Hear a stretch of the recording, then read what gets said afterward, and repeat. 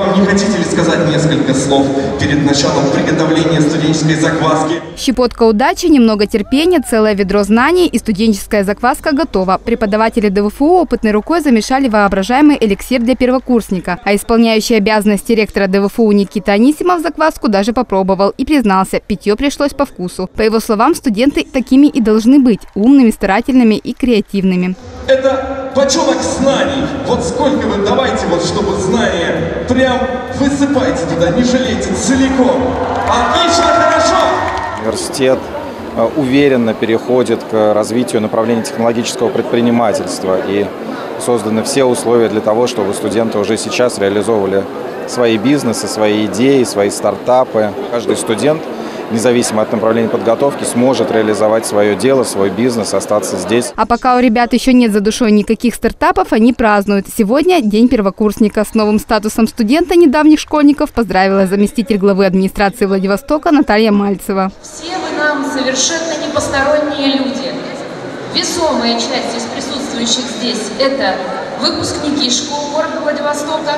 Ну а те, кто не заканчивал одну из наших 78 школ, стали горожанами, стали жителями Владивостока.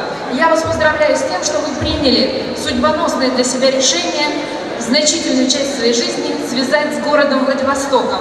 Познакомиться с первокурсниками, которых, к слову, в этом году в ДВФУ более 6 тысяч, вышли директора всех шести школ. Преподаватели желали студентам успехов в учебе, творческих и научных прорывов. Проблемно давать э, человеку сейчас просто лишь знания, которые он может получить в интернете, в телефоне, за компьютером, в книгах, в конце концов. А, мы пытаемся организовать наш учебный процесс таким образом, чтобы э, студенты сами формулировали проблемы и сами давали варианты ответов, решений, извините, тех проблем, которые э, они формулируют.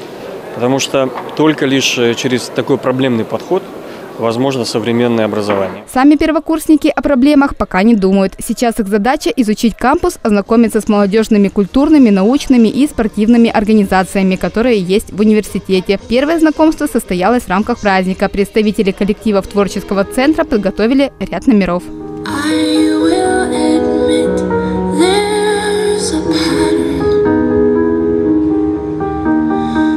Я поступил на нефтегазовое дело. Ну, ожидаю хорошо отучиться, закончить. Ну, знаю, что на форуме тут приезжают партнеры, там, Транснефть, Роснефть, Газпром. Ну, надеюсь, что они заметят то, что я хорошо учусь, я рассчитываю закончить на отлично. Я поступил на нефтегазовое дело, хочу закончить этот вуз, устроиться на престижную работу. Поступил с друзьями, с одноклассниками. Я наслышана была, что довольно-таки высокий уровень образования тут. Тут очень хорошие преподаватели, которые действительно знают свое дело. Вот.